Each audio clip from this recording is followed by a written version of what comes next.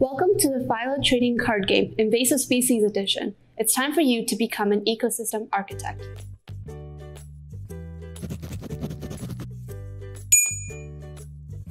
In this game, we'll be building Canadian ecosystems and exploring different events such as invasive species that threaten them. The objective of the game is simple. The person with the most points wins. To set up, grab a deck and a friend. You can use a whole deck for a full game or 20 cards for a quick game. Put your home card facing each player, divide the deck in two, and you can start building your ecosystem. Each time it's your turn, you can draw one card and make one action. You can discard a card and pick up three new cards. You can place a species down onto the table to build your ecosystem, or you can move a species card that's already on the table. See the move instructions on the species card to see how far that species can move in an action. Always remember to place the card facing you so that you can count your points at the end. The first card you need to start building your ecosystem is an autotroph species, or a species that produces its own food. Look for the number in the top right-hand corner of each species to see how it gets its own food. The other card features that'll help you build your ecosystem are the type of terrain the species live on, the size of the species, and the point value.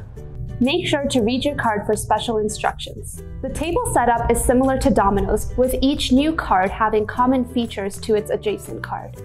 Each species you add to the ecosystem must be of same terrain, must be of the same trophic level or higher, and it must be of same size or bigger.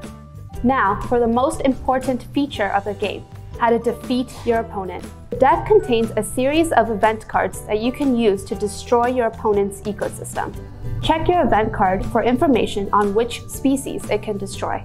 Play your event card on your opponent's species card, and they'll have one turn to save it, either by playing a species protection card or replacing the species card altogether.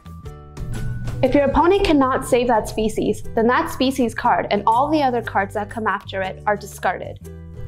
The first person to run out of cards in their draw pile initiates the final round of play.